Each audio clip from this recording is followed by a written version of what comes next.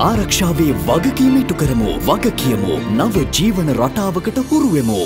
ආරක්ෂාවේ වගකීම ඉටු කරමු වග කියමු නව ජීවන රටාවකට හුරුවෙමු.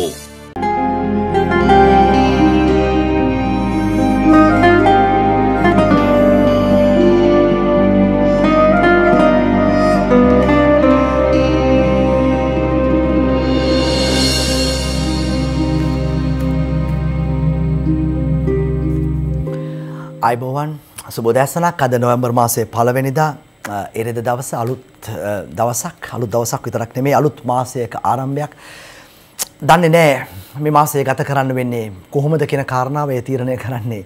අපි නෙමෙයි කෙසේ වෙතත් එය තීරණය කිරීමේ යම් කිසි හැකියාවක් අපිට තිබෙනවා. ඒ අපි ජීවත් වන ආකාරය අනුව. ඒ නිසා සමාජ දුරස්ත භාවයේ මොකාවරණ පැනඳ ගනිමින් සෞඛ්‍ය ආරක්ෂිත පූර්ව ආරක්ෂක ක්‍රමවේද ඔස්සේ ජීවත් වීම හරහා මේ මාසය සහ අනෙක් මාසයේ දෙසැම්බර් මාසයේ මේ අවුරුද්ද අපි ගත කරන්නේ කොහොමද කියන කාරණාව පිළිබඳව නිශ්චිතව අපිටම යම් තීරණයකට එන්න පුළුවන්. හොඳයි අපි අවධානය යොමු කරමු අදත් පත්තරේ විස්තරය වෙත. ඇරඹුම මෞබිම පුවත්පතේ ප්‍රධාන වාර්තාවෙන් දෙවැනි රැල්ලේ රහස එලියට මේ තාරක සම්මාන්ගේ අද ප්‍රධාන වාර්තාව. මේ වසංගත රෝග විද්‍යාංශයේ අධ්‍යක්ෂ විශේෂඥ වෛද්‍ය වෛද්‍ය සුදත් සමරවීරගේ ප්‍රකාශය මිනුවන්ගොඩ බ්‍රැන්ඩික්ස් ඇඟලුම් කම්හල ආශ්‍රිතව ආරම්භුණු දෙවෙනි කොරෝනා රැල්ලෙන් ව්‍යාප්ත වූ වෛරසය ගැන කර ඇති පර්යේෂණ වාර්තාවකින් මෙතෙක් අනාවරණය නොවූ කරුණු හෙළිදරව් වනු ඇති බව වසංගත රෝග විද්‍යාංශයේ ප්‍රධානියා ප්‍රකාශ කරනවා. මේ වාර්තාවට අනුව ශ්‍රී ජයවර්ධනපුර විශ්වවිද්‍යාලය මේ දැනට පැතිර යමින් පවතින කොවිඩ් දහනමේ ආසා තත්ත්වය පිළිබඳව පර්යේෂණයක් සිදු කළා. මේ පර්යේෂණයේ වාර්තාව ඊයේ බාරදීමට නියමිතව තිබූ බව මවබිම කියන්නේ සෞඛ්‍ය අමාත්‍යාංශයේ ලේකම්වරයාට. නමුත් ඇත්තට මේ වාර්තාව ලබා දුන්නා මහාචාර්ය නීලිකා මලවේගගේ ප්‍රධානත්වයෙන් යුතු ශ්‍රී ජයවර්ධනපුර විශ්වවිද්‍යාලයේ කණ්ඩායම මේ වාර්තාවේ අන්තර්ගතය තුළ තියෙනවා මේ වෛරස් කාණ්ඩය මීට පෙර වාර්තා වූ කන්දකාඩු නාවික හමුදා පොකුරට වඩා වෙනස් ඒ B142 කියන කාණ්ඩයට අයත් ඉතාම ප්‍රබල වෛරසයක් බව. ඒ නිසා මේ වාර්තාව දිගු වාර්තාවක් වාර්තාවේ සම්පින්දනයක් වශයෙන් ගත්තේ සමස්තයම වාර්තාවේ අනාවරණය වී නැහැ මෙය බොහෝ වෙලාවට ඉදිරි දින කීපය තුළ අනාවරණය වෙනවට ඉඩ කඩ තිබෙනවා. ඒ අතරේම කොරෝනා සමාජයට පැතිරිලා ඖෂධ හා සෞඛ්‍ය සේවා සැපයුම් පිළිබඳ උපදේශක වෛද්‍ය සංජේ පෙරේරාගේ ප්‍රකාශයක් මේ.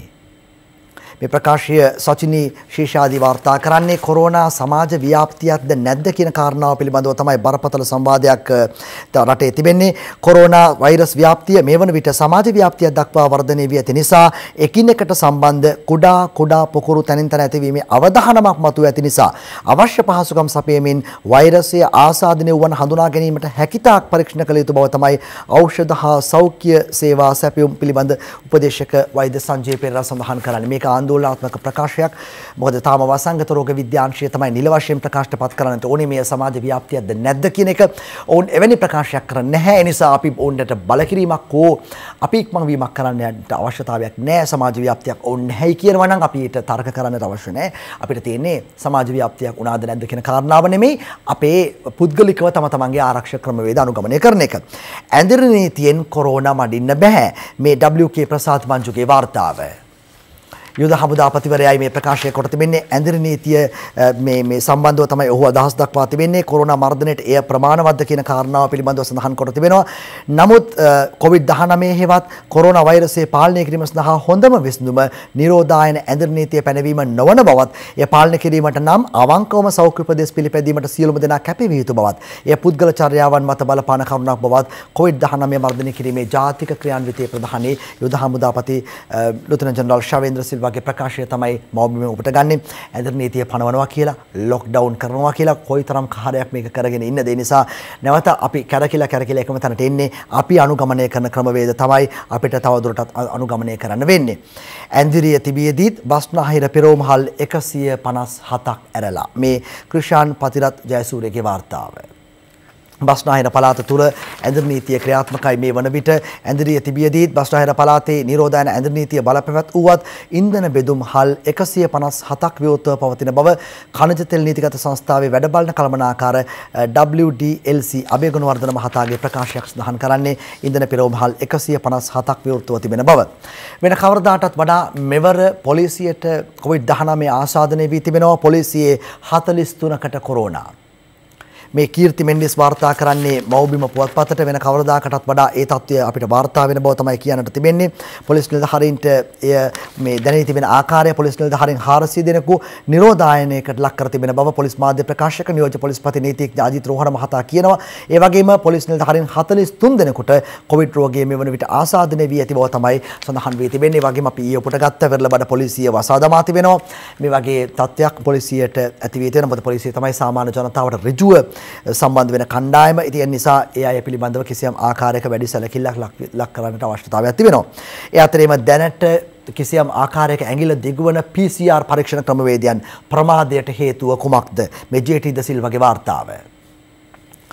සෞඛ්‍ය මාත්‍යාංශයේ නියෝජ්‍ය අධ්‍යක්ෂ ජනරාල් පර්යේෂණාගාර අංශය වෙත පැවරී තිබෙන වැඩ කොටස වසංගත රෝග විද්‍යාංශයට පවරා නිහඬව සිටීම PCR පරීක්ෂණ වාර්තා ලබා ගැනීමේ ප්‍රමාදයට එක් ප්‍රධාන හේතුවක් වෙලා තිබෙනවායි කියලයි රජයේ වෛද්‍ය නිලධාරීන්ගේ සංගමය පෙන්වා දෙන්නේ. දැන් ලංකාවේ විශ්වවිද්‍යාල පද්ධතිය ඇතුලේ PCR පරීක්ෂණ පවත්වන්න පුළුවන් මැෂින් 23ක් විතර තියෙනවා. සාමාන්‍යයෙන් දල වශයෙන් දල වශයෙන් ගත්තත් දහසක් විතර කරන්න පුළුවන් කියලා. නිකන් දල වශයෙන් හිතමු. කොයිතරම් ප්‍රමාණයක් කරන්න පුළුවන්ද? සමහර පෞද්ගලික රෝහල් වල වාර්තා තියෙනවා මැෂින් දෙකයි තියෙන. හැබැයි හත් අට දහක් කරන සමහර තැන්වල අපි දැක්ක ඔය මේ ඔය ජනතාව මිශ්‍රවීම අඩු කරන්න ඔය ඩ්‍රයිව් ත්‍රූ ක්‍රමයකුත් මේ හඳුන්වලා දීලා තියෙනවා. ඒ නිසා මේ වගේ ක්‍රමවේදයකට අපි වහ වහ යා යුතුව තිබෙනවා. ඒ නිසා ජනතාව ඒකරාශී කරන ක්‍රමවේද වලින් ඔබට ගිහිල්ලා ජනතාව ඒකරාශී කරන්නේ නැතිව ඊට ඉක්මනින් පරිශ්‍රණ කරන ක්‍රමවේදයන් සඳහා වහ වහ යා යුතුව තියෙනවා සහ ඉක්මනින් මේ පරිශ්‍රණ වාර්තා PCR ටෙස්ට් එකේ රිපෝට් එක ගන්න ඕනේ නැත්නම් PCR ටෙස්ට් එක අද කරනවා දවස් 8කින් රිපෝට් එක එනවා.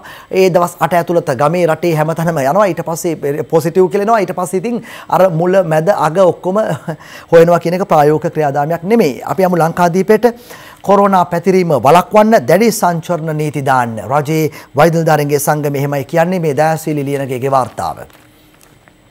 රටපුරා කොරෝනා උපපොකුරු බිහිවීමේ අවධානම වැඩිවෙමින් පවතින නිසා එය වළක්වා ගැනීමේ වළක්වා ගැනීම සඳහා රෝගය ප්‍රබලව පවතින ප්‍රදේශවල හා අනෙකුත් ප්‍රදේශවල ජනතාව උදෙසා වහාම ක්‍රියාත්මක වන පරිදි දැඩි මාර්ග උපදේශ ක්‍රියාවලිය සකස් කළ යුතු බව රජයේ වෛද්‍ය නිලධාරීන්ගේ සංගමේ සහකාර ලේකම් වෛද්‍ය නවීන්ද සොයිසාගේ ප්‍රකාශයක් තමයි සඳහන් කරන්නේ කිසියම් ආකාරයක දැඩි සංචරණ නීතිවලට යා යුතුයි කියන එකයි කියලා ඔවුන් කියන්නේ නැහැ.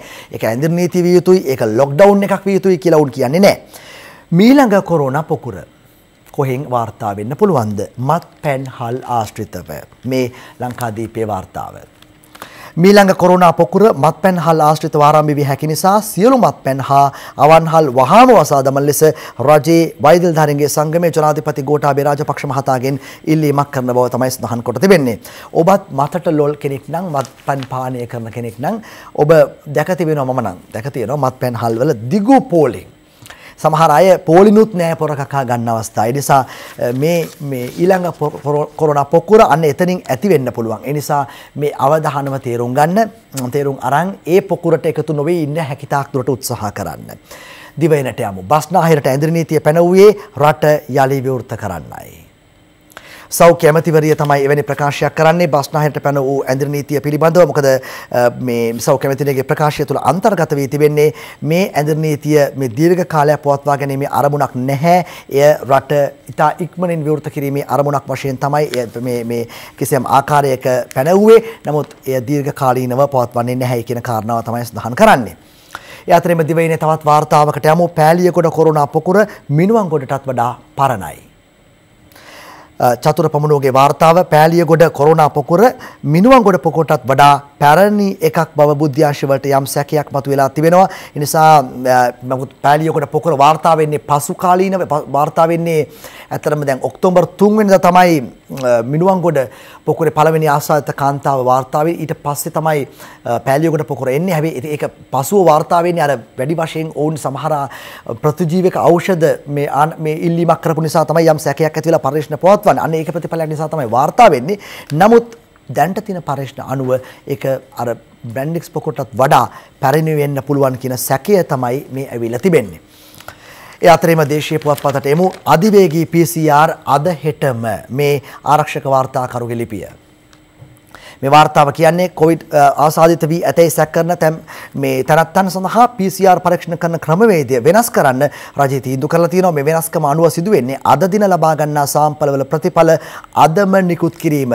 මේක තමයි අධිවේගී PCR වශයෙන් හඳුන්වන්නේ. දවස් 7ක් 8ක් ගන්නේ නැතුව පසුගිය කාලේ PCR පරීක්ෂණ සඳහා රෝගීන්ගෙන් ලබාගත් සාම්පල ඇතැම් විට රසායනාගාරවල දින දෙක තුන තබා ගන්න සිදු වෙලා තියෙනවා. ඒ වුණාට නව ක්‍රමවේදය අනුව එදිනදා ප්‍රතිඵල එදිනදාම නිකුත් කිරීමට හැකියාවක් තිබෙන බව තමයි සඳහන් කරන්නේ මේ ඔස්සේ සාමාන්‍යයෙන් PCR පරීක්ෂණ 5000ක් 7000ක විතර රිපෝට්ස් ප්‍රතිඵල දෙන්න පුළුවන් වෙයි කියලා තමයි මේ කියන්නේ. හොඳයි දැන් අපි බලමු ශ්‍රී ජයවර්ධනපුර විශ්වවිද්‍යාලයේ කරපු සමීක්ෂණයේ ප්‍රතිඵලය රිසර්ච් එකේ ප්‍රතිඵලය මොකක්ද? උන්නේ වාර්තාව ලබා දුන්නා සෞඛ්‍ය අමාත්‍යාංශයේ ලේකම්වරයාට මේ වාර්තාවේ අන්තර්ගතය බලමු.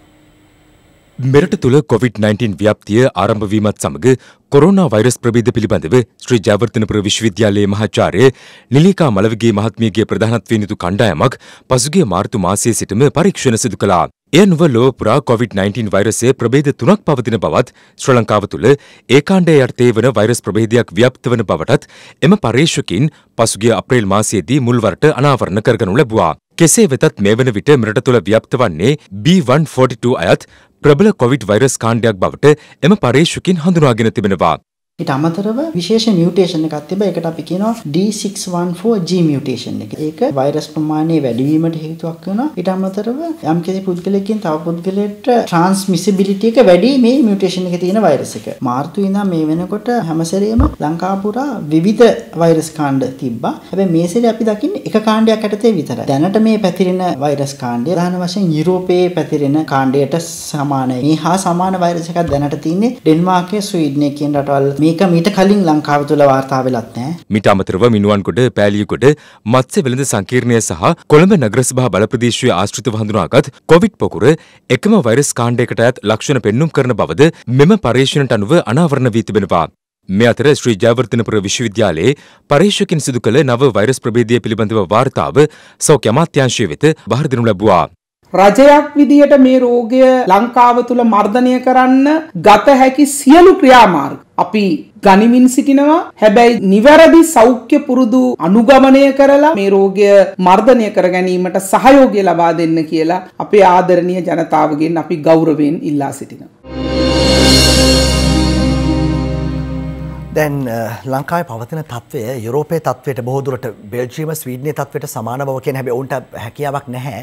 මේක එංගලන්තය ඇමරිකාව අනෙකුත් රටවල් හා සංසන්ධනාත්මක බලන්න මොකද ඒ රටවල් වල සාම්පල මේ මේ ශ්‍රී ජාතන්ත්‍ර විශ්වවිද්‍යාලයේ නැති නිසා කෙසේ වෙතත් වෛරසයේ ප්‍රබලතාවය පිළිබඳව ඔවුන් සඳහනක් කර තිබෙන ඔවුන්ගේ රිසර්ච් එක ඇතුලේ නිසා අපිට තියෙන්නේ අපේ ස්වයංපූර්ව ආරක්ෂක ක්‍රමවේදයක් අනුගමනය කර ගැනීම. මොකද ලෝකේ තාම එන්නතක් සොයාගෙන නැහැ මේ තත්ත්වයට ඔබ දන්නවා ඒක. හොඳින්ම දේශීය පුවත්පතට එමු කොළඹ වෙඩින් පාටි 100ක් කැන්සල්. හසිත් අංජනගේ වාර්තාව කොරුණ තත්ත්වය උද්ගත වීමෙන් පසු කොළඹ නගරය තුළ සංවිධානය කර තිබූ මංගලෝත්සව සහ ප්‍රිය සම්භාෂණ 100ක් පමණ අවලංගු කර ඇති බව කොළඹ නගර සභාවේ ප්‍රධාන සෞඛ්‍ය වෛද්‍ය නිලධාරී රුවන් විජේමුනි මහතා කරන ප්‍රකාශයක් හැබැයි 50කට වගේ සීමා කරලා නම් පවත්වන්න පුළුවන් බව තමයි කියන්නේ. නමුත් අර මේ මේ මේ ඇඳුම් නීති අතරෙත් කොළඹ විවාහ මංගලෝත්සව පවත්වලා පොලිසිය මා හිතන්නේ පරීක්ෂණ පවත්වමින් තිබෙනවා. මේ තත්ත්වය කාටද මේ තරම් හයියක් තියෙන්නේ. ඇඳුම් නීතිය පවතින වෙලාවෙත් තමන්ගේ වෙඩින් එක පවත්වන්න කරන්න කියන කාරණාව ගැන තොරතුරු අනාවරණය වෙයි අපි එතකොට කියන්න. කහතුඩුවට කොරෝනා බෙදූ මාළු වෙළෙන්දාට නඩු. පිළියන්දල කහතුඩුව ප්‍රදේශයේ මාළු වෙළඳාමේ නියුතු වෙමින් සිටියේදී කොරෝනා ආසාදිත තත්ත්වයට පත් වූ බව දැන දැනත් රෝග වාහකයෙකු ලෙස අපරීක්ෂාකාරීව ක්‍රියා කළ මාළු වෙළෙන්දාට නිරෝධායන නීතිය යටතේ නඩු පැවරනු ඇති බව තමයි පොලිස් මූලස්ථානය ප්‍රකාශ කරන්නේ. ඒ කියන්නේ තවමත් අපි අපේ වගකීම ඉටු කරගෙන නැති බව පේනවා. ඒ කියන්නේ ඔබටත් දරුවෝ ඉන්නවනේ. ඒ වගේම ඔබටත් ඔබේ පවුලක් කියලා ඉන්න නිසා වගකීමක් ඇතුව කටයුතු කරන තමන් ආස්වාදිතයෙක් නම් තවත් අයට මේක බෝ කරමින් යනවා කියන්නේ නිකන් අපිට හිතනවා අර අපි කියනවා මේක මේ තමන් සිතාමතාම කරන කටයුත්තක්ද කියන කාරණාව පිළිබඳව. හොඳයි අපි ඒ කටයු ඒ කාරණාවෙන් පස්සේ සුළුමින පුවත්පතට යමු සතියක් ලොක්ඩවුන් නම් 5000 සහනාධාරය දෙයි. මිනිහල්පි අබේසිංහගේ වාර්තාව. මේ වාර්තාවේ කියන්නේ සතියකට වැඩි කාලයක් සම්පූර්ණයෙන්ම වසා දැමුණු ප්‍රදේශ සඳහා රුපියල් 5000ක සහ සහනාධාර මුදල් ලබා දීමට රජය තීරණය කරනවා. නිවෙස්වල නිරෝධායනයට යොමු කරන පවුල් සඳහා සති දෙකකට සරලන බඩු මල්ලක් ලබා දෙන්න ආර්ථික පුනර්ජීවන හා දරිද්‍රතාවය තුරන් කිරීම සඳහා වන ජනාධිපති කාර්ය සාධක බලකායේ සභාපති බැසිල් රාජපක්ෂ මහතාගේ ප්‍රධානත්වයෙන් රැස් වෙන මේ කමිටුව තීරණය කොට තිබෙන බවත් මේ වාර්තාවේ සඳහන් වී තිබෙනවා. ඒ අතරේම අපි විශේෂ ප්‍රණාමයක් පුද කරන්නට අවශ්‍යයි මේ තරම් ගැටලුකාරී බාධා තත්ත්වයන් ඇතුලේ උසස් පෙළ විභාගයේ පහේ ශිෂ්‍යත්ව විභාගයේ පවත්වන හැකියාවක් ලැබුණා කොරෝනා වසංගතයේ මැද උසස් පෙළ නවවනදා සාර්ථකව නිමාවන ලකුණු. මේ සුභාෂ්ණී ජයරත්නගේ වාර්තාව ඉකුත් ඔක්තෝබර් 12 වෙනිදා විභාග මධ්‍යස්ථාන 2648 ආරම්භ වෙන්නේ උසස් පෙළ විභාගය. විභාග අපේක්ෂක 362824 දෙනෙක් විභාගයට සාර්ථකව මෙනේ සිටිනවා. විභාග අපේක්ෂකයන්ගේ සහභාගීත්වය 100%යි ඒ වගේම මේ සඳහා සහභාගී වූ කාර්ය මණ්ඩලය ඉතාම කැපවීමෙන් කැපකිරීමකින් පැමිණියා. ඒ නිසා අපි මේ සියලු දෙනාට ප්‍රණාමය පුද කරන්නත් මේ අවස්ථාවක් කරගමු. ඒ අතරින්ම සිළුමිණ පුවත්පතේ තවත් වාර්තාවක්. ඒ උසස් පෙළ පිළිබඳව පාසල්. විවෘත වෙයිද නැද්ද. පාසල් විවෘත කිරීම කල්යයි. මේ සුභාෂ්ණී ජයරත්නගේ වාර්තාව කොවිඩ්-19 වෛරසය හේතුවෙන් පාසල් යළි ආරම්භ කිරීම කල් දැමීමට සිදුවන ඇති බව අධ්‍යාපන අමාත්‍යාංශයේ ලේකම් මහාචාර්ය කපිල සී පෙරේරා සිළුමිණට ප්‍රකාශ කරනවා. දෙවැනි වාරයේ පාසල් නිවාඩු අවසන් වෙලා පාසල් යළි විවෘත කිරීම නොවැම්බර් 9 වෙනිදාට දී තිබුණත් ව්‍යාප්ත වෙමින් පවතින කොරෝනා වසංගතයේ හේතුවෙන් පාසල් විවෘත කිරීමට හැකියාවක් නැති බව තමයි කියන්නේ පාසල් විවෘත කරන්න නම් සෞඛ්‍යාංශ කොළ එලියක් දැල්විය යුතුව තිබෙනවා. ඒ නිසා සෞඛ්‍යාංශයේ වාර්තාව තාම ලබා දීලා නැහැ. ඇත්තටම පාසල් විවෘත කරන්න තරම් තත්ත්වයක් පවතින බවත් අපිට පේන්නෙත් නෑ. නිසා මේ අවුරුද්ධ දරුවන්ගේ පාසල අධ්‍යාපනය සෑහෙන වැඩ කොටසක් මග හැරුණු අවුරුද්දක් ඒක කියන්නම අවශ්‍යයි. ගෙදර හිටිය කියලා දරුවෝ එහෙම ලොකු ඉගෙනීමක් කරන්නේ නෑනේ ඔය මේ ස්කයිප් වලින් එහෙම සූම් වලින් එහෙම කරනවා ඒකට ඒක හරියාකාරව සාර්ථකව කරන්නේ නෑනේ නිසා ඒක සිදු කරන බව පේන්නේ නෑ. සිළුමිනට එමු. අත්‍යවශ්‍ය පෞද්ගලික සේවාත් අකණ්ඩ සේවයේ මේ අමිල මලවිසූරියගේ වාර්තාව. නීති නිරෝධායන ඇඳුම් නීතිය බස්නාහිර පළාත් තුළ ක්‍රියාත්මක වුණත් අත්‍යවශ්‍ය පෞද්ගලික සේවා පවත්වාගෙන යන සේවාස්ථාන හා කර්මාන්ත ශාලා අදාළ ප්‍රදේශයන්හි සෞඛ්‍ය බලධාරීන්ගෙන් සහ පොලිස් ස්ථානයන්ගෙන් ලබාගත් අවසර මත නිරෝධායන රීතීන්ට යටත්ව පවත්වාගෙන යාමට අවසර දී තිබේ කියලා කියනවා. නමුත් බොහෝ අයගෙන් පැමිණිලි ලැබෙනවා මේ අවසරයක් දුන්නයි කියලා කිව්වට පොලිසිය කර්ෆියු පර්මිට් එකක් දුන්නයි කිව්වට පොලිස් මාධ්‍ය ප්‍රකාශක පුළුවන් කියලා කිව්වට මේක අරගෙන පාරේ යනකොට පාරේ ඉන්න මගතකොටේ පොලිස් මාර්ග බාධකේ ඉන්න පොලිස් නිලධාරී මහත්මයාගෙන් අවසරය පොලිසිය ලැබෙන්නේ නැහැ. නිසා එක්ක ඉහළ පොලිසිය කියන දෙපාර්තමේන්තුවේ මූලස්ථානයේ දෙන පණිවිඩය පල්ලෙහාට යන්නේ නැහැ හරියට ගියත් ඒක ක්‍රියාත්මක වෙන්නේ නැහැ. දැන් තව ටිකකින් අපි ඒ ගැන කතා කරන්න බලාපොරොත්තු වෙන එකත් එක කාරණාවක් අපි කතා කරන කාරණා අතරේ. ඇත්තම COVID-19 දැන් පවතින තත්ත්වය කොහොමද? අපි අහමු. අපි අහුවා ඇත්තටම සෞඛ්‍ය මාත්‍යාංශයේ මාධ්‍ය ප්‍රකාශක වෛද්‍ය ජයරුවන් බණ්ඩාර මහත්මයාගෙන් ඍජුව ප්‍රශ්න කිහිපයක් මේ ඒ පිළිබඳ හිරු ප්‍රවෘත්ති වාර්තාව. දැන් ලංකාවේ ආසාදිතව ගාන දසදහස පැනලා. දැන් ලංකාවට මොකද වෙන්නේ? දසදහස කියන්නේ බොහෝ රටවලට තීරණාත්මක කඩයිමක්. බොහෝ රටවල් ඉතාමත් සීඝ්‍රයෙන් දසදහසට ලං වුණා. අපි ටික කාලෙක විරාමයක් ගත්තා. නමුත් ඔබ දන්නවා පහුගිය සති 3 4 ඇතුළත දසදහස සීමාව ඉක්මවමින් එක්වර රෝගීන් වැඩිවීමක් වුණා. ගැටලුව තියෙන්නේ එතන නෙවෙයි. මේ රෝගය වේගෙන් පැතිරෙන පටන් අරන් තියෙනවා මේ රට තුල. ඔබ කියන විදිහට ලංකාව දැන් ඉන්නේ දැඩි අවදානම් තත්ත්වයක. පැහැදිලිව. තවමත් කොවිඩ් එක්ක හැප්පෙන්න පුළුවන් වාතාවරණය මේ රට තුල තිබෙනවා. හැබැයි අපි ඉදිරි කාලය තුල හරියට ක්‍රියාත්මක වුනේ නැත්නම් අපිටත් දරා ගන්න බැරි වෙන්න පුළුවන් අනාගතයේදී. පළවෙනි කොවිඩ් පොකුර නිර්මාණය වීමේදී අපි ඒ ටෙස්ටිං කියන මේ සංකල්පෙ හිටියා. නමුත් දැන් අපේ පළමු පොකුරේ ආසාදිතුන් රෝහල වලින් පිටව යන්නත් එක්ක අපි මේ ටෙස්ටිං කියන සංකල්පෙ මිදුණානේ. ඒ නිසා නේද මේ දෙවෙනි පොකුරක් මේ විදිහට විශාල වශයෙන් නිර්මාණය වුණේ. සෞඛ්‍ය අමාත්‍යාංශ විදිහට මේ වගකීමෙන් බැහැර වුණේ නැහැ. හැබැයි අපි පිළිගන්න ඕනේ මේ කාරණේදී අපි පොඩ්ඩක් මේක සැහැල්ලුවට ගත්තා වැඩි. අපි කිව්වහම මුළු රටම එකට ගන්න ඕනේ. ඒකෙන්ද තමයි මිනුවන් ගොඩ පොකුර හොයාගෙන නිවිගෙන යනකොට රට හැමතැනම තව පොකුරු නිර්මාණය වෙන්න පටන් ගන්න තියෙනවා. 5000කට වැඩි ඉන්නේ දැන් රෝහල් වල. එළියේ ඉන්න පුළුවන් මේ වගේ 10 ගුණයක් ආසාදිත අය. ඒගොල්ලෝ හම්බ වෙන්න තව සති දෙකක් යන්න පුළුවන්. එතකොට මිනිස්සු පරිස්සම් වෙලා හැසිරුනේ නැත්තම් ඒ දහගුණය තව දහගුණයකට ඉන්ෆෙක්ට් කරලා තියෙන්න පුළුවන්. ඒ තරම් මේ රෝගය භයානකයි. එතකම අපි දැක්කා දැන් පහුගිය දවස්වල ප්‍රවෘත්ති වාර්තා හරහා යම් කෙනෙක් යනවා PCR ටෙස්ට් එකක් කරන්න. කරලා ඉවරලා ගෙදර එනවා. එන්නේ බස් එකේ එන්නේ ත්‍රිවිල් එකේ සුපර් මාකට් එකට ගිහිල්ලා තව කඩේකට ගිහලා තව බෙහෙත් ගන්න තැනකට ගිහිල්ලා මේ විදිහට තමයි ගෙදර එන්නේ. එතකොට පොසිටිව් වුණා කියලා දැනගත්තට පස්සේ අර ආශ්‍රිතව සියලු දෙනාම හොයන්න පටන් ගන්නවා ආරක්ෂක අංශයි සෞඛ්‍ය අංශයි සියලු දෙනා මැදිහත් වෙලා. PCR එකක් ගන්නේ මොකක් හරි සැකසහිත කෙනෙක්නේ. ඇයි එයා එක තැනක රඳව ගන්න තරම් ක්‍රමවේදයක් නැත්තේ? ඒක ගැටලුවක් නෙවෙයිද ඒක? ඔබේ තර්කය මම පිළිගන්නවා. ඒ දැනුවත් කිරීමේ යම්කිසි අඩුවක් තියෙන්නට ඇතයි කියලා මම විශ්වාස කරනවා. නමුත් අපිට තියෙන පහසුකම්, ප්‍රවාහන පහසුකම්, PCR පරීක්ෂණ කර ගැනීමේ පහසුකම්, එහි ගැටලුවක් තියෙන බව අපි දන්නවනේ. අපිට ඕනෑ තරම් පරීක්ෂණ කරන්නත් බෑ, ඕන තරම් සාම්පල් ගන්න මධ්‍යස්ථානත් නැහැ. ඉතින් මේ ගැටලුව මම විශ්වාස කරනවා ඉදිරියේදී වහාම निराකරණය විය යුතුයි. ඔව් දැන් මම මේ ප්‍රශ්න ඔබෙන් අහන්නේ ඔබ දැන් සෞඛ්‍ය අමාත්‍යාංශයේ මාධ්‍ය ප්‍රකාශකවරයා ලෙස කටයුතු කරන නිසා දැන් අපිට පහසුකම් මදි කියනවනේ. හැබැයි දැන් කොවිඩ් අරමුදලක් පිහිටෙව්වනේ. ඒ අරමුදලට කෝටි ගණන් මිනිස්සු මුදල් යොමු කරා. පිට රටවල් වලින් මුදල් ආවා. අපේ දේශීය ව්‍යාපාරිකයෝ මුදල් යොමු කරා. ඇතරේ සල්ලි වලට මොකද උනේ එතකොට?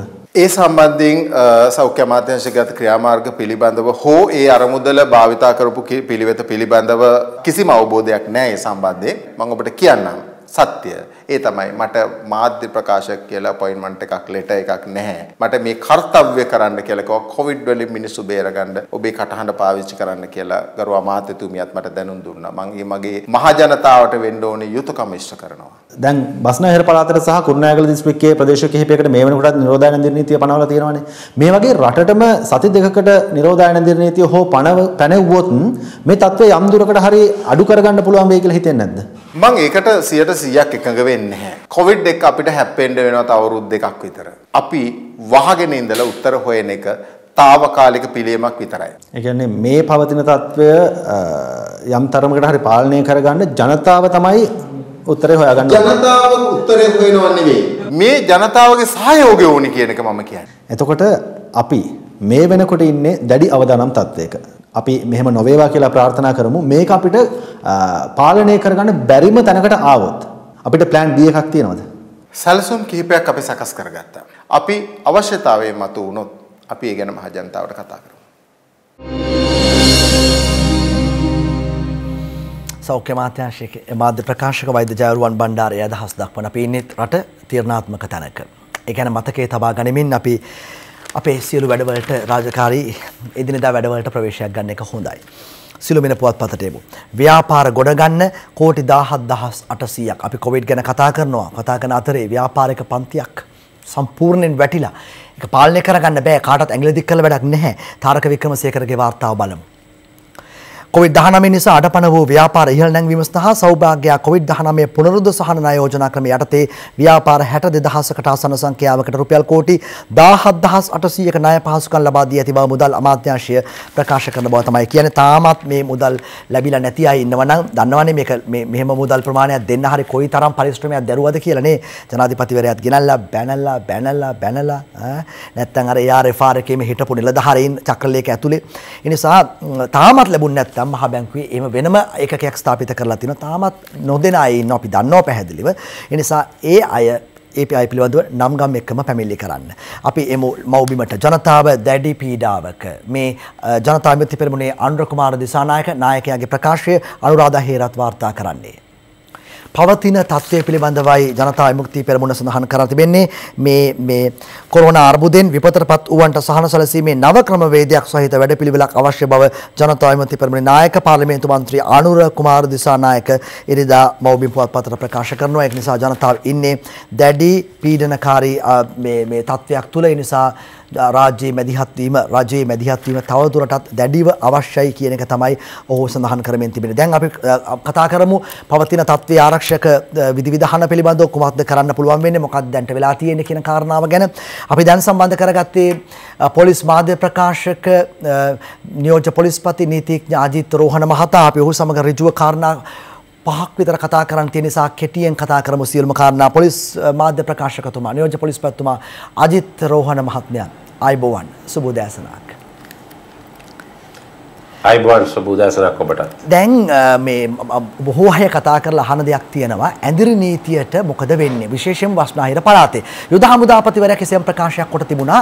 අ, ඊයේ සහ අද තත්ත්වයේ සැලකිලිට අරගෙන තමයි බස්නාහිර පළාතේ ඇඳිරි නීතිය පිළිබඳව කිසියම් තීරණයකට එන්නේ. මේක දිගු කරනවද? එහෙම නැත්නම් හෙට අලුයම පහෙන් අ, මේ මේ පෙර සා- සාකච්ඡා කරගත් පරිදි අවසන් කරනවද කියලා. කිසියම් සාකච්ඡාවක් ඒ පිළිබඳව අද දවසේ පැවැත්වෙනවද? ඇඳිරි නීතිය දීර්ඝ කරනවද නැද්ද කියන කාරණාව තහවුරු කරගන්න? ඕ දැන් මුලින් අපි තිබිච්ච විදියට චමුදිත මේක තිබුණේ අ, පොලිස් වසම් 68ක ක්‍රියාත්මක වුණා 49ක් අ- අලුතින් ප්‍රකාශයට පත් කළා 29 වෙනිදා රෑ ඒ අනුව 117ක් බස්නාහිර පළාත 112යි කුලියාපිටියේ පහයි. මේ ටිකේ තමයි ඇඳිරි නීතිය ක්‍රියාත්මක වුණේ.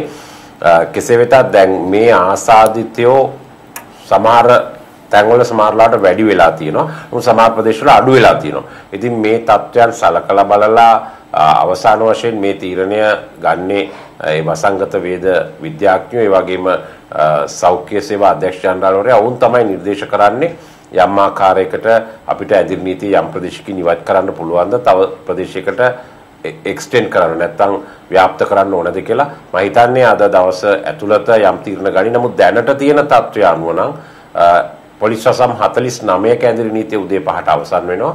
ඉතුරු 68 තවදුරටත් ක්‍රියාත්මක වෙන තත්ත්වයක් තමයි තියෙන්නේ මේ මොහොත වෙනකල්. නමුත් සමහරලාට ඒ තීරණේ වෙනස් වෙන්න හැකියාවක් තියෙනවා. ඒක නාද පවත්වන කිසියම් සාකච්ඡාවක සහ වසංගත රෝග විද්‍යාංශයේ නිර්දේශ මත දැන් අපිට පෙනෙන තව දෙයක් තමයි මේ පොලිසිය තත්ත්වයේ තරම් යහපත් නැති බව පොලිස් නිලධාරීන් ඔබම කියලා තිනවා 43 දෙනෙකුට ආස්වාදනය වෙලා තිබෙනවා. ඒ වගේම තවත් පිරිසක් නිරෝධායනයේ යෙදී තිබෙනවා. වෙරළබඩ පොලිසිය වසා දමා තිබෙනවා. දැන් පොලිසිය තමයි ඍජුව මහජනතාව සමග සම්බන්ධ වෙන අය. ඉතින් මේ අය ආරක්ෂා විය යුතුව තිබෙනවා. ඇත්තටම මේ අයගේ තත්ත්වය කොහොමද? පොලිස් නිලධාරීන්ගේ තත්ත්වය පොඩ්ඩක් කතා කරලෙමු. වැඩිපුරම කවුරුත් කතා කරනවා. සමස්ත සමාජය ගැන නිසා. නමුත් මේ අය විශාල සේවාවක් කරන කොටසක්. මේ අයගේ තත්ත්වය කොහොමද නියෝජ්‍ය පොලිස් පැතුමා? ඔය ඇත්තම දැන් ඒ ඒ ආසාදිත තත්වයට පත් වෙලා ඉන්න යම් පිරිසක් ඒ වගේම 300ක් විතර ඉන්නවා නිරෝධායන කඳවුරු වල ඒකම තවත් පොලිස් නිලධාරීන් 1200කට ආසන්න සංඛ්‍යාවක් පොලිස් බැරැක්කවල ඒ වගේම අ, විශේෂ කාර්ය බලකා කඳවුරු වල නිරෝධ ස්වයං නිරෝධායනට යොමු කරලා තියෙනවා.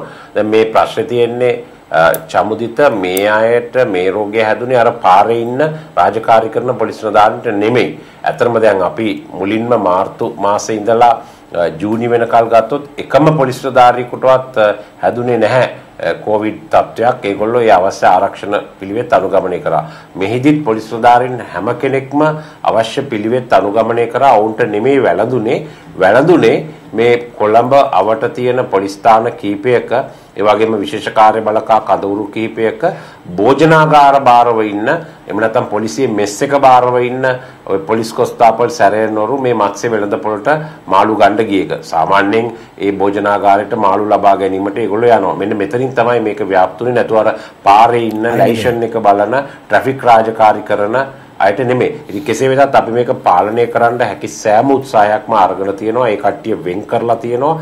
නිරෝධායන කඳුරු වලට යොමු කරලා තියෙනවා. නමුත් ඒ යොමු කරපු තැන්වලිනුත් ආසාදිතයෝ බිහි වෙනවා. කෙසේ වෙතත් අපි මේක පාලනය කරන්න හැකි උත්සාහයක්ම අරන් තියෙනවා. ඒ වගේම මේ පාරේ සාමාන්‍ය රාජකාරී කරන පොලිසිය රාජකාරී කරන අයට අවශ්‍ය සියලුම නිරෝධායන ඒ වගේම සෞඛ්‍ය රීති අනුගමනය කරන්න උපදෙස් දීලා ඒ අවන් අදාළ උපාංග ඒ යම්කිසි ඇඳුමක් තියෙනවා නම් එය අත්පිරිසුදු කර ගැනීම මාස්ක් එක මේ සියලු දේවල් ලබලා දීලා තියෙනවා ජනතාවට සේවය කිරීම සඳහා.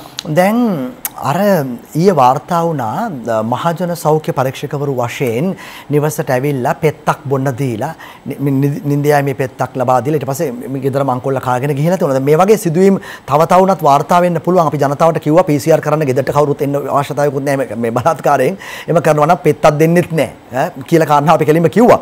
දැන් මේ පිළිබඳ පරීක්ෂණයක් පවත්වනවා නේද? යම්කිසි ප්‍රතිඵලයක් තියනවාද මේ මේ වෙලාවේ කියන්න යමක් තියනවද මේ පරීක්ෂණය පිළිබඳව ඔබතුමාට?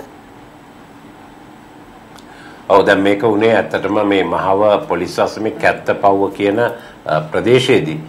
මේ ප්‍රදේශයේ මේ වෙච්ච එක ගැන දැන් නිකවරටිය ජ්‍යෙෂ්ඨ පොලිස් අධිකාරිවරයාගේ අධීක්ෂණය යටතේ කණ්ඩායම් තුනක් දාලා විමර්ශන කරනවා.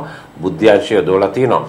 ඉතින් ඒ විමර්ශනය අපි ඒ ආකාරයෙන්ම සිදු කරනවා. දැන් මෙහිදී පැහැදිලි වෙනවා ඒ සාක්ෂි වලින් මේ පැමිණි පුද්ගලයෝ තුන්දෙනා අතර කාන්තාවක්ද සිටියයි කියලා. ඒ කියන්නේ ඉතා සූක්ෂමව තමයි මේ අවස්ථාවේදී මේ රටම වසංගතයකට මුහුණ දෙන අවස්ථාවේදී මේ අපරාධකරුවන් ක්‍රියා කරලා තියෙන්නේ මේ ආකාරයකට. මීට අදාළ යම් යම් ස්ථානවල තියෙන CCTV දත්ත අපි ලබාගෙන තියෙනවා.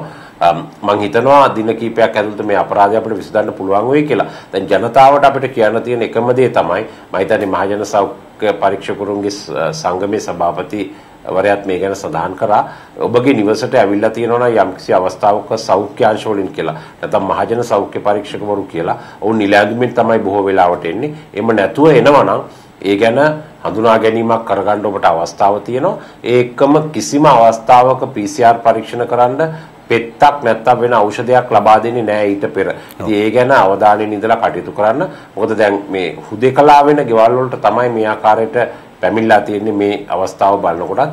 ඉතින් ඒ නිසා ඒ ගැන අවධානයෙන් ඉන්න අපි මේ ගැන විශේෂ පරීක්ෂණයක් සිදු කරනවා කණ්ඩායම් තුනක් යොදලා. මම හිතනවා සතියක් විතර ඇතුළත අපිට පුළුවන් වෙයි මේ අපරාධකාරයෝ නීති ඉදිරියට ගෙනෙන්න. නියෝජ්‍ය පොලිස් පැතුමා දැන් ඔබ ලබා දෙන උපදේශන එමට පොලිස් පුලස්ථානය වශයෙන් නිකුත් කරන උපදේශනය දැන් මේ පුවත්පතත් මා කිව්වා අත්‍යවශ්‍ය සමහර සේවා සහ කර්මාන්ත ශාලා පවත්වාගෙන යා යුතුව තිනෙස් දහ පොලිස් තමන්ගේ ආසනතම පොලිස් බල ප්‍රදේශයෙන් මේ කර්ෆියු පර්මිට් එකක් දෙනවා. හැබැයි මේ අපිට දිනකට දුරකථන ඇමතුම් ගණනාවක් එන පර්මිට් එක අතේ තියෙනවා.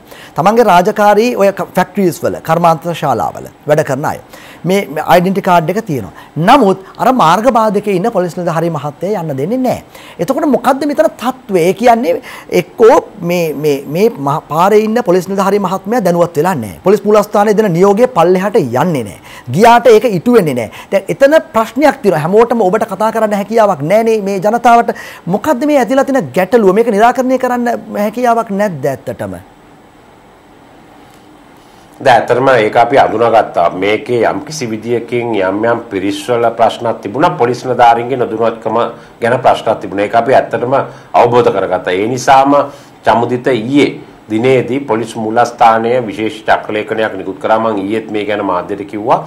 යම් යම් ආයතන 84ක් ගැන රාජ්‍ය රාජ්‍ය නොවන සංස්ථා ඒ වගේම ව්‍යවස්ථාපිත මණ්ඩල ආයතන 84ක අයට ඒ අයගේ රාජකාරී හැඳුනුම්පත භාවිතා කරලා මාධ්‍යද ඇතුළුව අ, රාජකාරී සඳහා වාර්තා කරන්න පුළුවන් කියලා. දැන් මේකේ වෙන්නේ චමදිත පොලිස් නිලධාරීන්ගේ පල්ලෙහා මට්ටමේ ඉන්න අයගෙත් දැනුමේ අඩුකමක් තිබුණා. ඒක අපි පිළිගන්නවා. මොකද එක එක වෙලාවට අපි නිකුත් කරා අ, යම් කිසි ආකාරයේ පණිවිඩ දැන් ඒවා ඔක්කොම එකතු කරලා තමයි මේ පණිවිඩ නිකුත් කරේ. හැබැයි ඒ දැනුමේ අඩුකමට වඩා සමහර අය මේවා අයිතු ලෙස භාවිතා කරන්න පටන් ගත්තා. ඒ කියන්නේ තමුන්ගේ පුද්ගලික ගමන් යන්න. ඒ වගේම සමහර අපි කිව්ව ආයතන වලට වඩා වෙනත් ආයතන පවත්වාගෙන යන්න. ඉතින් මෙන්න මේක තමයි මේක ඇති වුනේ. ඉතින් පල්ලෙහා ඉන්න පොලිස් නිලධාරීන්ටත් වගකීමක් තියෙනවා. මොකද ඒක හරහා යම්කිසි විදියකින් ඒකට පටහැනිව යමෙක් ගියොත් ආසාදිත පිරිසක් ගියොත් ඒගොල්ලෝ ඒ වගකීමට බැඳෙනවා. ඉතින් ඒ නිසා ඔවුන් පැය 14කටත් වඩා පාරේ අවුවේ අ, තාර උඩ ඉඳගෙන මේ ක්‍රියාවලිය කරන්නේ රට වෙනුවෙන්. ඔවුන්ගේ අඩුපාඩු තියෙන පුළුවන්. හැබැයි ඊට වඩා මේක අවභාවිතා කිරීමිනුත් වළකින්න අවශ්‍යයි. ඉතින් ඒක නිසා අපි ඒක දැන් ස්ට්‍රීම්ලයින් කරලා තිනවා, ක්‍රමවත් කරලා තිනවා. ඊයේ ඉඳලා අලුත් චක්‍රලේඛනයක් අ, නිකුත් කරලා අපි බලමු අද වෙනකොට ඒ වගේ තත්ත්වයක් තියෙයිද කියලා. දැන් නියෝජ්‍ය පොලිස් පත්තුමා තව කාරණා දෙකක් ඉතාම කෙටියෙන් දැන් ලොකු කතාබහක් තියෙන කාරණාවක් නේ ආందోලනාත්මක මත දෙකක් තියෙනවා බස්නාහිර පළාතේ ඇඳින් නීතිය පනවන්න පෙර ආතුව පිරිස විශාල වශයෙන් මේ බස්නාහිර පළාතෙන් පිට ගියාද විනෝද චාරිකා ගියාද? ගම රටවලට ගියාද? දැන් ඔබ ඒ- හරි ඒක ගැන පැත්තකින් තියව ඔබ ඒකට උත්තරයක් දෙන්න. ඔබ 400 ගණනක් ගියා වගේ කතාවක් ඊයේ කියලා තිබුණා. දැන් මේ අය ඒ ඉන්න ආස්ථානයේම නිරෝධායනයේ විය යුතුයි කියලා පණිවිඩයක් ඊය අපිට ආවා. අපි ඒක කිව්වා. පොලිස් මුලස්ථානයේ කියලා තියෙනවා ඒක. දැන් හෙට උදේ අලුයම පහට ඇඳුම් නීති ඉවත් කරනවා නම් මොකද්ද දෙන්න තියෙන උපදේශනය? ඒ අය ආවොත් අ, ඒ අය එන ස්ථානවලදී අත්අඩංගුවට ගන්නවද? අරගෙන අපි කිව්වේ ඒ විදියට. ඊයේ මේ මේ උපුටා දක්වමින්. එහෙම නැත්නම් ඒ අයට එන්න එපා ඉන්න ස්ථානයේම දින 14ක කාලයක් ස්වයං නිරෝධායනයේ විය යුතුයිද? මේවත් අපෙන් අහන ඒවා. ඒ නිසා මො- කොහොමද මොකද්ද මඟ පෙන්වීම ඔවුන්ට ඔබ කියන්නේ මො- මොකද්ද ඔවුන් කළ යුත්තේ? හරි නිවැරදිම කාරණාව. ඔව් දැන් ල- පෙරේදා පොලිස් මූලස්ථානයෙන් පොලිස්පතිතුමාගේ නියෝගයක් විදියට පැහැදිලිව උපදෙසක් ලබා දුන්නා බස් ප්‍රාදේශීය පොලිස් අධිකාරිවරුන්ට පොලිස් ස්ථානාධිපතිවරුන්ට ඔබේ ප්‍රදේශයේ ය- ලැබුම් හලකට හෝටලයකට සංචාරක නිකේතනයකට නවාතැනකට විශ්‍රාම ශාලාවකට යම් කෙනෙක් බස්නාහිර පළාතෙන් 29 හරි 30 හරි ඇවිල්ලා තියෙනවා නම් පිට වෙලා ඒ ගැන හොයන්න කියලා. ඒ අනුව ඒ පොලිසිය හොයලා තියෙනවා. ඊයේ හවස වෙනකොට 454ක් කණ්ඩායම් නිරෝධායනයට ලක් කරලා තියෙනවා ඒ ඉන්න ප්‍රදේශවලම. දැන් අද උදේ මට ලැබිච්ච වාර්තා අනුව මේක 554ක් දක්වා වැඩි වෙලා තියෙනවා. අද උදෑසන වෙනකොට. ඒතකොට ඒ අය ඒ තැන්වල නිරෝධායනය වෙනවා. දැන් ඒ අයට එන්න බෑනේ. ඒ අය ඒ තැන්වල නිරෝධායනය වෙනවා. නමුත් දැන් මේ අපිට අහුවෙන්නේ නැතුව සමහර කට්ටිය ඉන්න පුළුවන්. දැන් අද දවසෙත් මේ මෙහෙයුම ක්‍රියාත්මක වෙනවා.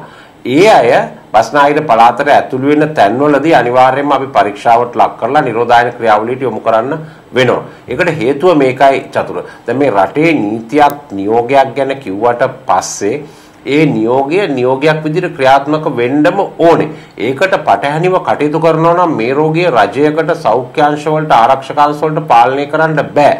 තායිවානයේ දින 201කින් එකම ආසාදිතයෙක්වත් නැතුව ඒ රට ලෝකේ ජයග්‍රාහී රට බවට පත් උනේ ඒ රටේ මිනිස්සු නීතිය හරියටම පිළිපැද්ද හින්දා. ඉතින් අපේ රටේ කවුරු හරි එක්කෙනාද දෙන්නද 500ද 600ද නෙමෙයි කවුරු හරි මේ නීති පිළිපදින් නැතුව නීතිය ගණන් ගන්න නැතුව යනවනම් මේ රෝගේ ව්‍යාප්ත වෙන එක වළක්වන්න බෑ. ඔබ දන්නවා මේ වෛරසය අර ඉස්සෙල්ලා ආපු වෛරසයට වඩා ශක්තිමත් කියලා. ඉතින් ඒක නිසා තමයි මේ ක්‍රියාවලි අපි සිදු කරන්නේ. අවසන් වශයෙන් නීතිපතිවරයා කිසියම් මාර්ගෝපදේශනයක් ලබා දී තිබෙනවා පොලිස්පතිවරයාට මේ බ්‍රැන්ඩික්ස් පොකුර පිළිබඳව මේ අපරාධ පරීක්ෂණයක් පවත්වන්න සහ ඒ වාර්තාව කඩිනමින් ලබා දෙන්න කියන කාරණාව ගැන දැන් විවිධ කතා යනවා. යුක්‍රේන කණ්ඩායමක් පැමිණියා. ඇන්ටනෝ ගුවන් යාන රිපෙයා කරන්න. ඒගොල්ලා සීදුව හෝටලයක හිටියා. කටුනායක ගුවන් මේ මේ කඳවුරේ හිටියා මේ කියන කතා. ඒ ඔස්සේ පැතිරුණාද වගේ විවිධ කතා. දැන් මේ මේ පරීක්ෂණ කටයුත්ත කෙරෙමින් යනවාද ඔබට යමක් මේ පරීක්ෂණයෙන් අන්තර්ගත තොරතුරු පිළිබඳව කියන්න මේ මොහොතේ හැකියාවක් තිබෙනවා නම් ඒක ප්‍රවෘත්තිමය වටිනකමක් තියෙවි කියන හැකියාවක් තිබෙනවා නම් පමණක්. මොකද තත්ත්වය ඒ පරීක්ෂණීය කටයුතු වල? ඔය දැන් මේකේ ඔය බුද්ධි වාර්තා එක පැත්තකින් තියෙනවා. ඒකම අනික් පැත්තකින් මේ දැන් ජයවර්ධනපුර විශ්වවිද්‍යාලයෙන් මේ ගැන පර්යේෂණයක් කරලා තිනවා. ඒ වාර්තා තිනවා ඒ වාර්තා එක්කම මේ ගැන විමර්ශනයක් ක්‍රියාත්මක කරනවා. කොළඹ අපරාධ කොට්ටාශයේ නීතිපතිතුමාගේ උපදෙස එනකොටත් පටන් අරගෙන තිබුණේ ඒ නීතිපතිතුමා දීපු උපදෙසුත් ඇතුළත් කරලා තවදුරටත් පොලිස්පතිතුමා විසින් කොළඹ අපරාධ කොට්ටාශයේ අධ්‍යක්ෂවරයාට මේ ගැන උපදෙස් දුන්නා. ඒ විමර්ශනය කෙරෙනවා. ඉතින් මේ සියලු විශේෂඥ මත බුද්ධිතොරතුරු සහ කොළඹ අපරාධ කොට්ටාශයේ විමර්ශනය අනුව ඔය ඔබ කියන කතාවත් ඒකට ඇතුළත් වෙලා තිබුණා බුද්ධිතොරතුරු මේ විමර්ශනයේ අවසානයේදී අපිට පුළුවන් වෙයි හරියටම දැනගන්න කොහොමද මේ පොකුර ඇති වුණේ කියලා ඒ ගැන කොළඹ අපරාධ කොට්ටාශය විමර්ශනයක් කරනවා. බොහොමත්ම ස්තුතියි අපි පොලිස් මාධ්‍ය ප්‍රකාශක නියෝජ්‍ය පොලිස්පති නීතිඥ අජිත් රෝහණ මහතා සමග සාකච්ඡා කළේ පවතින වර්තමාන තත්ත්වය සම්බන්ධයෙන් අපිට දැනෙන්න අපිට සංවාදෙ ලක් කළ යුතු කාරණා ගණනාවක් පිළිබඳව තමයි ඒ අවධානය යොමු කළේ. බොහොම ස්තුතියි අපිත් සමග සම්බන්ධ වීම පිළිබඳව. හොඳයි අපි තවදුරටත් කතා කරමු ඊට කලින් විරාමයක් අරගෙන. සේෆ්ගාඩ් හැන් සැනිටයිස නවතම නිෂ්පාදන පෙළ නීරෝගිමත් දිවියකට.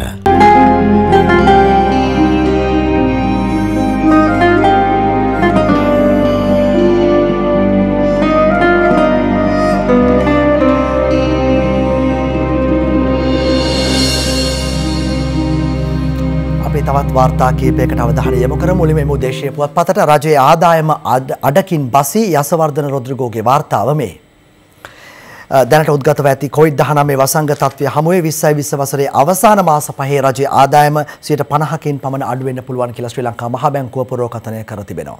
ඒ රාජ්‍ය ආදායම් පිළිබඳව අඩු කළ මිලට බඩු ගන්න යන ජනතාවට පරිප්පුව දේශීය පුවත්පතේ වාර්තාවක් කොරෝනාවෙන් පීඩාවට පත්වෙච්ච ජනතාවට සහනයක් ලබා දෙන රජය පරිප්පු බීලූණු සහ සීනි සඳහා අය කරපු ආනයන බදු විශාල ලෙස අඩු කළත් තාමත් බොහෝ පෞද්ගලික වෙළඳසල් වලින් මේවා ලැබෙන්නේ නැහැ. ඒ කියන්නේ මේ මේ කියපු මිලට නම් ගන්න බෑ.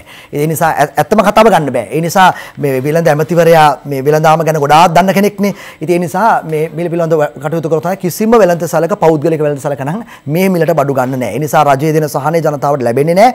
එක්කෝ රජයේ යම්කිසි වැඩපිළිවෙලක් කරන්න ඕන. අර කිව්ව කතාව හරි ජනතාවට පරිප්පු ගන්න යන අයට ජනතාවට පරිප්පු කන්න තමයි වෙලා තියෙන්නේ. මේ ලැබෙන්නේ නැහැ ඒක පැහැදිලි. වෙළඳ ඇමතිවරයා වෙළඳාම ගැන බොහොම ලොකුවට කතා කරපු කෙනෙන්නේ විපක්ෂයේ ඉන්නකොටයි මේම කරන්න බැරි. අපි හිටිය අරන් දෙන්නේ මෙහෙමයි කියලා. ඉතින් ඒ සහනය ජනතාවට යන විදියට සකස් කරන එක මේ දන්න කෙනානේ ආර්ථිකය පිළිබඳව කරන එක ඔහුගේ වගකීමක් වෙනවා කිව්ව දේ වචනෙන් ඉෂ්ට කරන එක. දැන් බලමු ලංකාදීපේට එමු ශ්‍රී ලංකන්ට පියාඹන්න ඩොලර් කොටි 50ක් ඉල්ලයි. මේ අජන්ත කුමාර අගලකඩගේ වාර්තාව දැඩි මූල්‍ය අර්බුදයකට ලක්ව තිබෙන ශ්‍රී ලංකන් ගුවන් සමාගම පවත්වාගෙන යන්න ඉදිරි වසර 3 වෙනුවෙන් ඇමරිකන් ඩොලර් කෝටි 50ක මුදලක් ලබා දෙන්නයි ඉල්ලීමක් කොට තිබෙන බව තමයි මේ වාර්තාවේ සඳහන් කොට තිබෙන්නේ. ඒ අතරේ මේ ඉරිදා ලංකාදීපේ ප්‍රධාන වාර්තාවට එමු දැන්. ණය සහ පොලිය ගෙවන්න ආණ්ඩුව තවත් ලොකු ණයක් ගනී. මේ අජන්ත කුමාර අගලකඩගේම වාර්තාවක්. ණය ණය පොලිස් සහ අත්‍යවශ්‍ය වේදම් පියවීම වෙනුවෙන් මේ වසරේ ඉතිරි කාල සීමාව සඳහා රුපියල් කෝටි 71700ක පමණ ණය ගන්න තීරණය කර ඇති බව මුදල් අමාත්‍යාංශ ආරංචි මාර්ග කියනවා. ඉන් රුපියල් කෝටි 30000ක පමණ මුදලක් විදේශීය මුදල් ණය වශයෙන් උත් ඉතිරි රුපියල් කෝටි 41700ක මුදල දේශීය මුදලින්ද ලබා ගන්න යෝජනා වෙලා තිබෙනවයි කියලායි කියන්නේ. හැබැයි මහා බැංකුව කියන ප්‍රශ්නයක් නෑලු. අජිත් කබ්‍රාල් රාජ්‍ය අමාත්‍යවරයා කියන ප්‍රශ්නයක් නෑලු. ඕගලන්ට ප්‍රශ්නයක් නැත්නම් ඉතින් අපිටත් ප්‍රශ්නයක් නෑ. හැබැයි ප්‍රශ්නේ තියෙන්නේ ණය ගෙවන්න ණය ගන්නවා කියන එක නම් ප්‍රශ්න ප්‍රශ්නයක්. අපිට දැනෙන මේ පොඩි ආර්ථික විද්‍යා දැනුමෙන් කියන්නේ සාමාන්‍ය අපි නිවාස ණයක් ගත්ත කියලා හිතන්නකෝ. ඒක ගෙවන්න බැරුව ඒක ගෙවන්න තව ණයක් ගන්නවා කියන්නේ ආර්ථික අර්බුදයක්. පවුලේ. ඉතින් මෙතන හරි බලමු. අ, මන්ත්‍රී පිරිසක් පිළිපැනීමෙන් මුස්ලිම් කොංග්‍රසය දෙදරීමේ අවධානමක්. මේ අ, මේ මේ ලංකාදීපේ වාර්තාව නිශාන්ත කුමාර බණ්ඩාරගෙන් 20 වෙනි සංශෝධන පනත් කෙටුම් පතට මුස්ලිම් කොංග්‍රසයේ මන්ත්‍රීවරු සිව් දෙනෙක් සහාය පළ කිරීමත් සමග එම කොංග්‍රසය දෙදරා යාමේ අවධානමක් ඇති වෙලා කියලයි මේ සඳහන් වෙලා තියෙන්නේ. රිෂාඩ්ගේ මන්ත්‍රීවරු විස්සට පක්ෂව ඡන්දය දෙනවා. රවුෆ් හකීම්ගේ මන්ත්‍රීවරු විස්සට පක්ෂව ඡන්දය දෙනවා. හැබැයි රිෂාඩුයි හකීමුයි අර පැත්තේ ඉන්නවා. දැන් ඒ කතාව තමයි පත්තරවල අද සඳහන්ලා තියෙන්නේ. මේක එහෙම උනේ කොහොමද? ඒක එහෙම වේ- වේ- ඒ වගේ දේවල් වෙන්න පුළුවන් වෙන්නේ කොහොමද? මේ අය යවලා මේ දෙන්න හිටියද? එනතන් මේ අය දෙන්නට එන්න එපා කියලා අයිතුරු අය ගත්තද? දන්නවනේ දේශපාලනේ අපි උඩින් බලන උඩින් කියවන දේවල් නෙමෙයිනේ වෙන්නේ ඊට වඩා ගොඩාක් ලොකු ගැඹුරක් තියෙනවා. උඩින් බලලා පත්තරේ තියෙන හෙඩ්ලයින් එක විතරක් කියවලා හරියන්නේ නැහැ. දිවයිනට එමු. විපක්ෂයෙන් තවත් තුනක් ආණ්ඩුවට. මේ කුෂාන් සුබසිංහගේ වාර්තාව. දැන් නම දෙනෙක් අ, එකතු වුණා. දැන් තවත් පිරිසක් එන බව තමයි මේ සඳහන් කරලා තියෙන්නේ. අ, මේ කෙසේ වෙතත් මේ වාර්තාව අනුව විපක්ෂයෙන් තවත් අ, පි- පිරිසකගේ සහභාගීත්වය පිළිබඳව සඳහන් කරනවා. ඔවුන් කියන්නේ අ, ආණ්ඩුව සමග අදහෙට එක්වීමට අවශ්‍යතාවයක් නැතයි විපක්ෂයෙන් ආණ්ඩුවට එක්වීමට සාකච්ඡා පැවැත්වෙති මන්ත්‍රීවරුන්ට ආණ්ඩු පාර්ශ්වයෙන් දැනුම් දීලා තිබෙනවයි කියලා කියනවා. දැම්ම නම් අවශ්‍යතාවයක් නැහැ. නිසා පොඩ්ඩක් ඉන්න අයවැය වෙනකන් අයවැයේදී අපි එකතු වෙමු. නිසා අයවැය ඉදිරිපත් කරන වෙලාවේදී යම් යම් දේවල් රඟ දැක්වීම දැක් දැක් ගන්න පුළුවන්.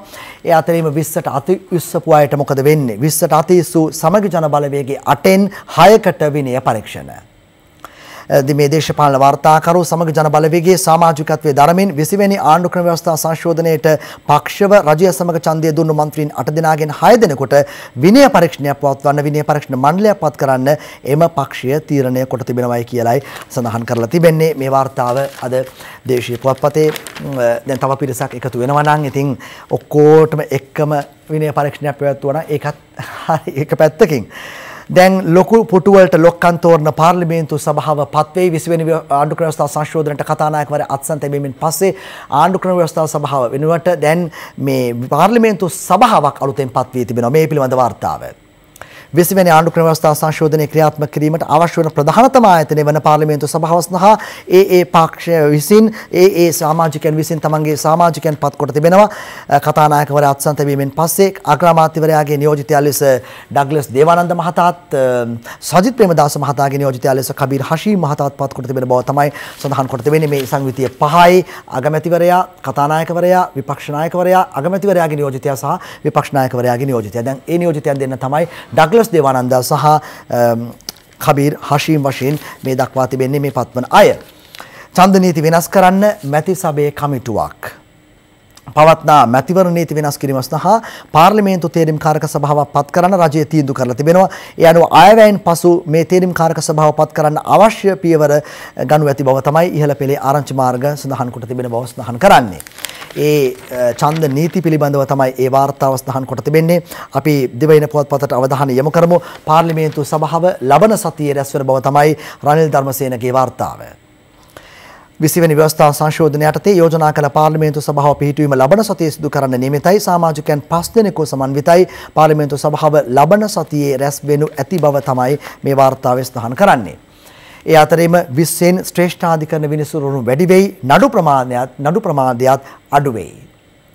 මේ අනුර බාලසූරියගේ වාර්තාව 20 වැනි ව්‍යවස්ථා සංශෝධනයත් සමග වසර 42කට පස්සේ ශ්‍රේෂ්ඨාධිකරණ හා අභ්‍යාචනාධිකරණ විනිසුරුවරුන්ගේ සංඛ්‍යාව වැඩි කරන්න හැකියාවක් ලැබිලා තියෙනවා. මතක තියාගන්න අවුරුදු 42කට පස්සේ මේ වෙනස සිදු වෙන්නේ. අපි දිවයින ඉරිදා සංග්‍රහය ප්‍රධාන වාර්තාවට එමු. හමුදා ලොක්කෝ තිදෙනෙක් ශවේන්ද්‍රට එරෙහිව සාක්ෂි දෙති. කීර්තිවර්ණ කුලසූරියගේ වාර්තාව. යුද හමුදාපති ශවේන්ද්‍ර සිල්වාට ඇමරිකානු රජය තහනමක් පැනවීමට මුල් වූ හිටපු හමුදා නිලධාරීන් තිදෙනෙක් ගැන ඇමරිකානු රාජ්‍ය ලේකම් මයික් පොම්පියෝ මෙරටට පැමිණීමෙන් පසු අනාවරණය වී ඇත කියලා තමයි මේ වාර්තාව සඳහන් වී තිබෙන්නේ. මයික් පොම්පියෝගෙන් මේ පිළිබඳව අ, මේ මේ ඍජුව ප්‍රශ්න කිරීමකුත් කර තිබුණා. මේ හිටපු හමුදා නිලධාරීන් තිදෙනා ඇමරිකානු රාජ්‍ය දෙපාර්තමේන්තුවට දියුරුම් ප්‍රකාශ ලබා දීලා තිබෙනවා. මෙන්න එක් අයෙක් මේ ජනරාල්වරයෙක් අනෙක් දෙදෙනා සාමාන්‍ය නිලධාරීන් දෙදෙනෙක්. මේ අය තමයි හමුදාපතිවරයාට එරෙහිව ගතු කියලා තියෙන්නේ. ඇමරිකාවට එනිසා ඔහුට සහුගේ පවුලට මේ හමු- ඇමරිකාවට ඇතුළීම තහනම් වෙලා තිබෙන අන්න ඒ තත්ත්වයක් තුළ. ශානී ඇතුළු CID පිරිසක් මදුෂ සමග සබඳකම් පවත්වලා. මේ හේමන්ත රන්දුනගේ වාර්තාව පාතාල කල්ලි නායක මාකන්දුරේ මදුෂ සමග සබන්තා පැවැත් වූ බව කියන උසස් පොලිස් නිලධාරීන් පිරිසකට එරෙහිව විශේෂ පොලිස් කණ්ඩායමක් පුළුල් විමර්ශන ආරම්භ කර තිබෙනවා.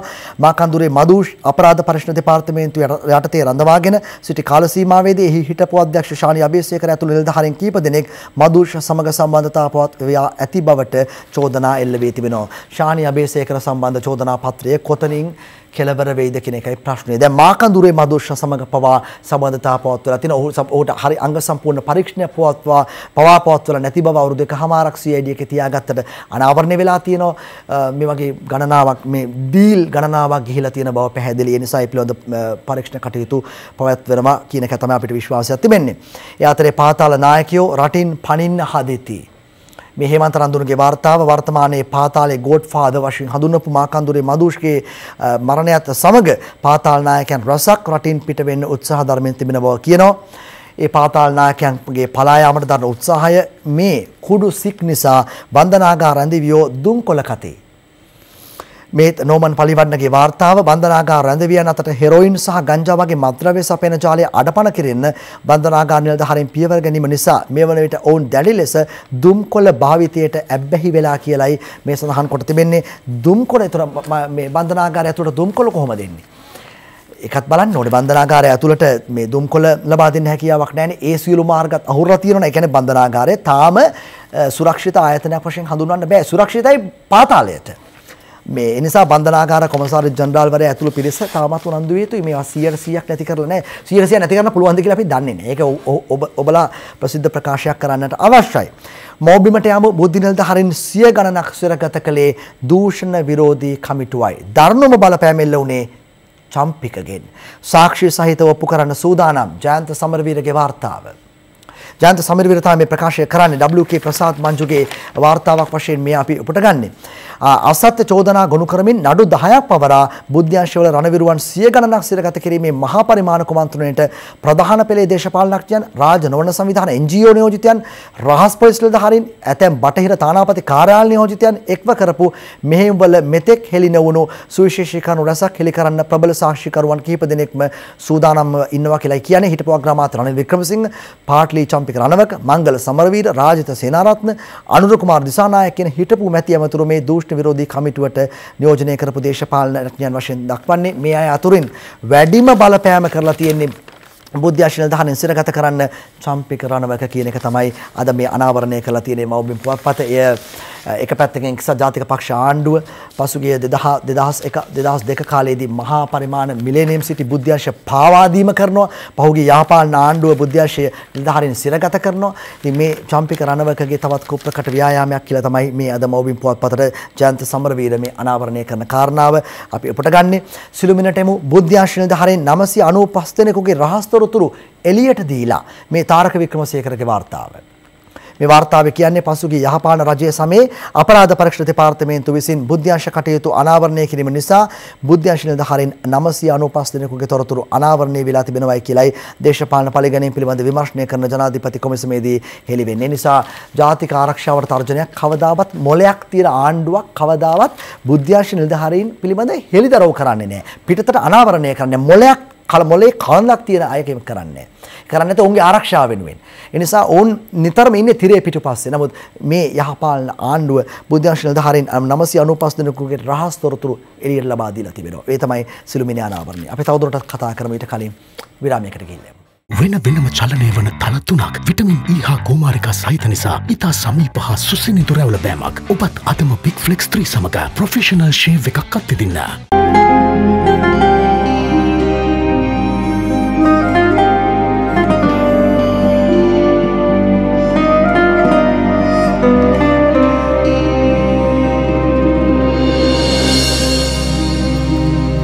අපි තවත් ප්‍රවෘත්තින් කීපයකට අවධානය යොමු කරමු එමු දේශීය පුවත්පතට පොම්පියෝ සමග කතාබහේ ඇත්ත වහාම හෙළි කරන්න මේ සමග ජන බලවේගයේ මහලේකම් රංජිත් මද්දුම් බණ්ඩාරගේ ප්‍රකාශය අද වාර්තා කරන්න දේශීය පුවත්පත.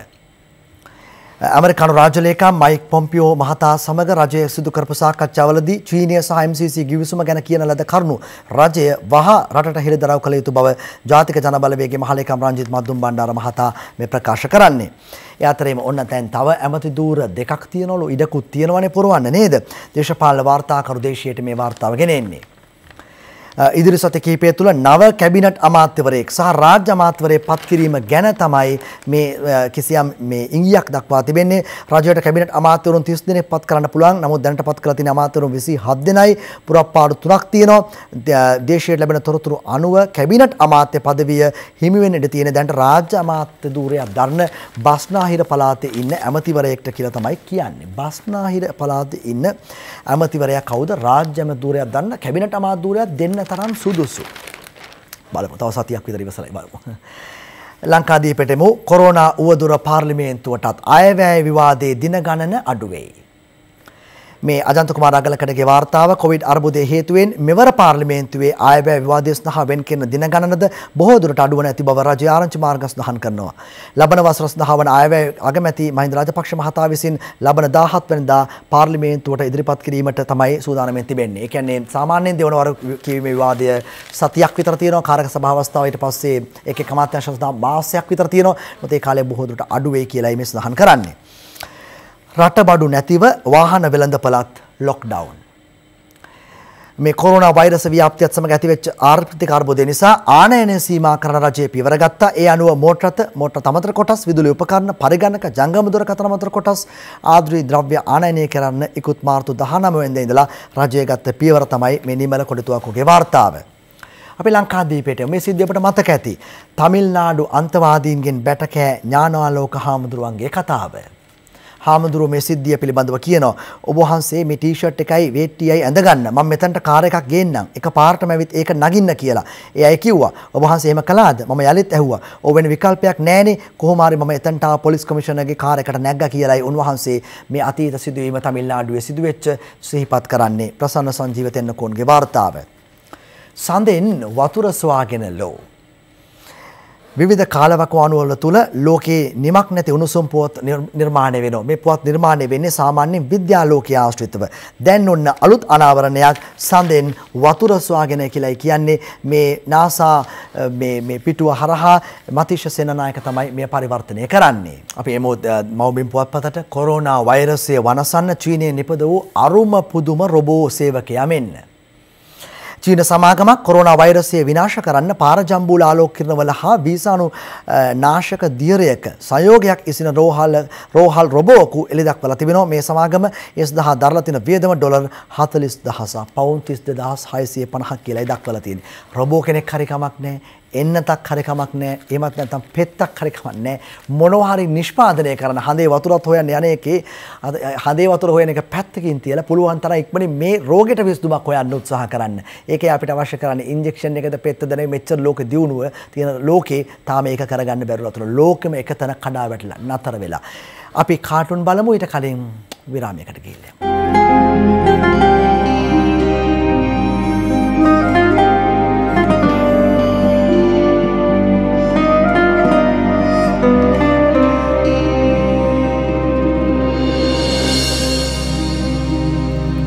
අපේ මු දවසේ කාටුන් වලට මේ අසංග ඉඳුනල්ගේ සොරි සර්. ශ්‍රී ලංකාව චීන ණය උගුලක හිර වෙලා නැහැලු ඔන්න. හරි ඉතින් උගුල හිර වෙලා ඉන්නේ අපිට ණය දීපු ලීලා ආපහු ගන්න බැරුව ඉන්න චීනුනේ. ඔව් අපි උගුල හිර වෙලා නැහැ ඒක ඇත්ත. අපිට ණය දීලා අපෙන් ණය ගන්න බැරුව ඉන්න චීනේ තමයි උගුල හිර වෙලා ඉන්නේ. දැන් එමු ජෙෆ්රි අඳින කාටුනේට මේ දිවෙනට. ජනාධිපතිවරයා යට ලොකු බලවත්තු දෙන්නේ රණ්ඩු වෙනවා මේ ඇමරිකාවයි චීනයයි. මේ රණ්ඩුවට මැදිවෙත්ත මැදිවෙච්ච අපේ ජනාධිපතිවරයා. දැන් අපි එමු අසං ඉදුනි ලඳින කාටුනට දේශයට. මේ දෙන්නම එකයි. ලංකාවේ අත් දෙකෙන් දෙපැත්තට අදිනවා. දෙන්නම එක වගේ තමයි. දෙන්නම හරියට ඉතින් කපටි නරි දෙන්නෙක් තමයි. චීනයත් එකයි ඇමරිකාවත් එකයි. උදව් කරන විදියට තමයි ඔක්කොමල ඉන්නේ නේ. අපි එමු අනුරාධ හිරිපිටියගේ හිටිවනයට. පොම්පායෝ ඇවිත් වටයක් විනෝදෙට චීනටත් බැනන් ආයෙත් ගියාරට නෑනේ කිසිම යටි අරමුණු එයාලට මීවද කඩයි අත ලෙවකා බැලීමට. ඒ වගේ තමයි මීවදේ කඩන්නේ. පියල් සමරවේරගේ ලංකෝනිස් කාටුනෙටෙමු. මේ දවස්වල වැඩි දෙනෙක් එළියට නොබැහැ ඉන්නේ කොවිඩ් ආපු හින්දානේ. ඒත් සමහරුනම් එලියට නොබැහැ ඉන්නේ පොම්පියෝ ආපු හින්දා. ඕ පොම්පියෝ ඇවිල්ලා ගියපු හින්දා එලියට බහින්න බැරුව ඉන්න කට්ටියකුත් ඉන්නවනේ. දන්නවනේ කවුද කියලා ඒගොල්ල. දැන් දාස ආපුවලානගේ තොප්පි කාටුනේට යන්.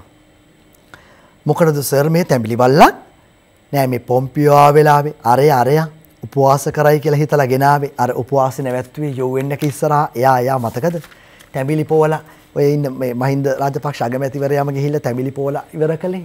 අන්න එයා යාට ඕන වුණොත් එහෙම. උපවාස නම් දැක්කේ නෑ හැබැයි.